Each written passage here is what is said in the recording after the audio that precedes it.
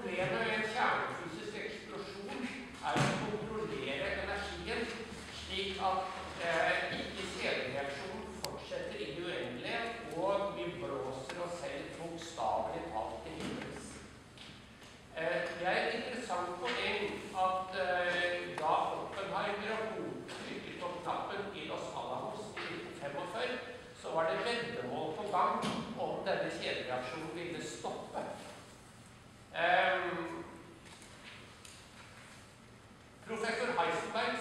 teori var det som nettopp kunne kontrollere denne prosessen.